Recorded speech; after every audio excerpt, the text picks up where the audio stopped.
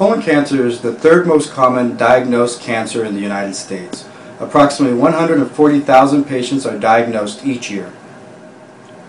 The most common symptoms for colon cancer include bleeding, anemia, abdominal pain, and change in bowel habits.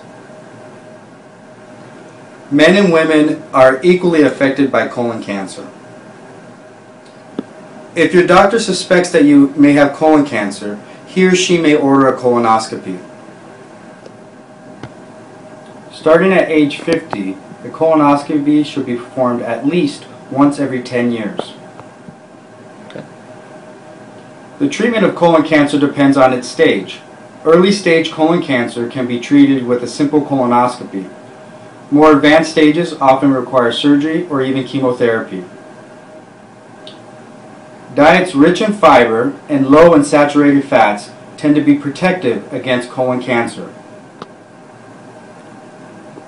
The most important thing to remember about colon cancer is that it's preventable. If you experience any of the symptoms that we spoke about, be sure to talk to your doctor.